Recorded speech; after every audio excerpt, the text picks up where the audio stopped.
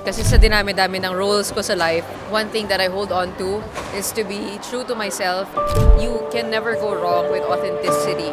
Kasi sa dinami-dami ng roles ko sa life, from being an athlete to being a host to being a news anchor and a content creator, that's ano eh, my creed eh. One thing that I hold on to is to be true to myself and to be sincere and to be honest to my audiences.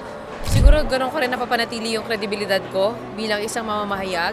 But I think the challenge there is how to be authentic and still be respectful of other people's opinions and feelings and to be thoughtful of what you say. So being authentic doesn't mean naman na you just say what's on your mind off the bat. It's also making sure that you're responsible for what you say.